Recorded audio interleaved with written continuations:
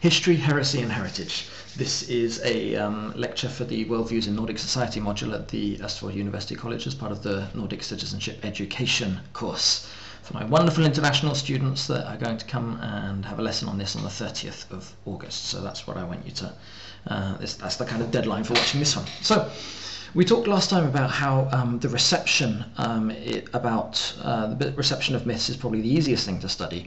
Uh, a lot of the other ways of interpreting uh, myths by structural interpretation or looking at the rituals that go on behind it, or the history that goes on behind it, are, are, are very speculative because we don't know so much about what's going on.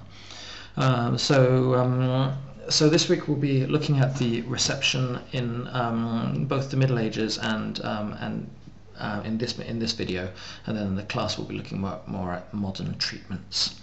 Um, so, and I've tried to formulate it into three ways of reacting to myths: um, history, heresy, and heritage. Uh, and yes, they all begin with H. I'm extremely proud of myself. So let's go on. Um, the first one is history, and, and this is a really normal thing to do. Basically saying that these uh, myths are, are, wonderful, but essentially they're based on um, historical um, myths, uh, well, no, historical stories, historical human beings. Odin was um, a, a one-eyed warrior. Thor was um, an abrasive guy that used the hammer an awful lot. Um, and, and, you know, maybe he was a blacksmith, I don't know. Um, and this is actually, um, this idea of, of saying that the gods were originally historical humans is called euhemerism. It's, uh, it's a really usual, usual treatment of um, other religions in antiquity, right back from about two or three years, two or three hundred years before our era. Um, and of course, it distinguishes between the idea of God as a universal principle of the universe um, and um, God as basically a very big human being. Um, and, and, and that's definitely there in the philosophy of these religions. Uh, and it just plays a lot on this. Obviously, um, if Thor was the universal principle of the universe, then there wouldn't be films about him. So Odin was a guy from Asia, um, and all the supernatural stuff was just added, added in in between, and that is the, that is the historical approach. it's not specific to Christianity, but it is the way Christians did tend to look at Greek and Roman religion as well as the Norse religion. Notice that this is therefore both an ideological treatment of the um, of the myths, it's kind of Christian Christians versus pagans, but it's also a historical um, an academic way of doing things. Why did people come up with these stories, or where did they come from? Um, the second one, which is probably more familiar, I suppose a bit more predictable, and that's that it's heresy. Obviously, uh, the Nordic countries did adopt Christianity as their main religion, and therefore they outlawed um, paganism um, after a while the tradition in um, religion, uh, the transition in religion went smoother than you think, though. Uh, we've already mentioned that the Norse gods, um, they weren't really gods, and there's this, um, they weren't really gods in the philosophical sense. So you don't find in the Nordic countries a kind of philosophical discussion as you do in Spain between the, between um, Christians and, um, and philosophical giants like Maimonides or Avicenna. Uh, and the later persecution of witches, for example, that we know a great deal about, is definitely takes place within the Christian worldview. So this clash between the two, two worldviews, although it did take place as a political struggle, um, wasn't necessarily a legal, um, wasn't quite so much of a harsh legal system after all. Um, Norwegians basically just adopted their, um, um, their leader's religion, and that's entirely in keeping with the pagan way of doing things, of course, with the heads of households being also religious leaders it seems to have come, it seems to have been a shift that came naturally um, to them.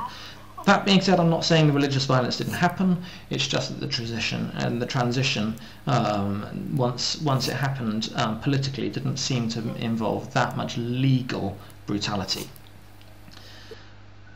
And then the third, um, the third approach is the heritage, the idea that these are my, my gods, these gods make me special, there's something that made me special. So even Snorre, the guy in the 1200s who, um, who wrote these myths down, may have been motivated by this idea that the, uh, this is what makes Iceland um, a little bit special.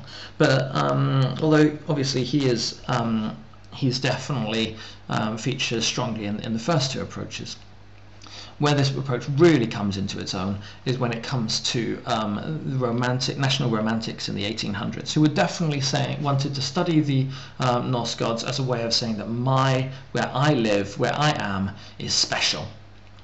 Um, it's of course a completely mistaken idea. Um, Odin um, is not necessarily unique to um, to Scandinavian countries or Nordic countries. Um, other countries um, have worshipped Odin. Um, gods, like humans, um, have always um, travelled.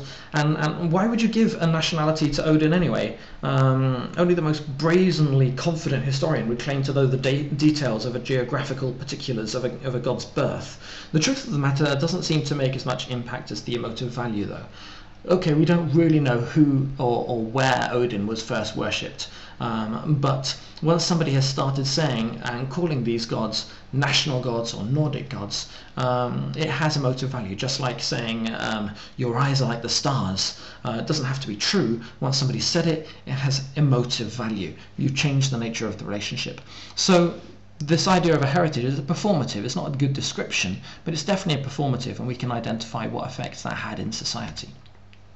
So those are the three um, approaches. Um, you can look at the, um, or, or, pagan myths have been, or Nordic myths have been approached as both history and heresy and heritage. Um, none of this really touches on the discomfort that we sometimes feel about the way these myths were allied with racism in modernity. There's nothing um, wrong, of course, with saying that this is, um, I have a, a, historical connection, or with celebrating your um, fictional contact with uh, geography and history. There's, it's okay to say that this area I feel special connection to. What really inspired so many European racists uh, was what probably justified medieval slavery in the first place. It was distasteful both within the stories as well as in the reception of the stories, and that's the gods' treatments of characters who aren't like themselves. And we'll be looking at that on Thursday.